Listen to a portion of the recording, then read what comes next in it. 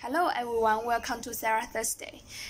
In this show, I would like to introduce our new product, the COVID 19 test kit for you. But because I am at home, so I do not have the sample test kit for this show to show you. But this show this time can be a prediction.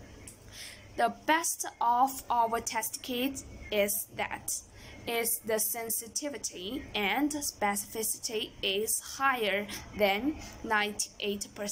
It is really higher and effective. And it is very easy to use.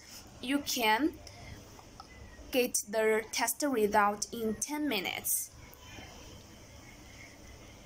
Then you can it, the result can be read easily by our eyes. Also, it can stored at the room temperature or required accessories are provided in the test kit box we provided to you. For your health, so this is a very good product.